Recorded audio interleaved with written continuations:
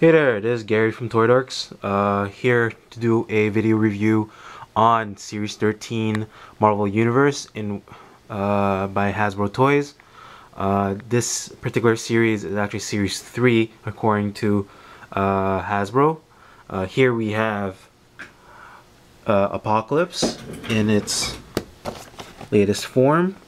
As you can see here, this is as bulky as the Hulk, the Red Hulk Thing, and Juggernaut. Here we have the very sought off and rare Cable with Baby Hope, as you can see on his chest with gun. Another classic is the original Cyclops from uh, the Jim Lee era.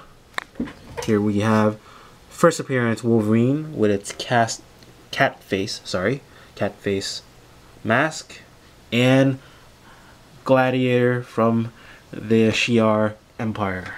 So this is the latest release on the Marvel Universe products. As once again, for scale purpose, I will take Lara Croft and that will give you scale. If you're not familiar with uh, the Marvel Universe uh, figures, the they are roughly about 3.75 inch tall there's some exception, uh, exception uh, bulkiness such as Apocalypse.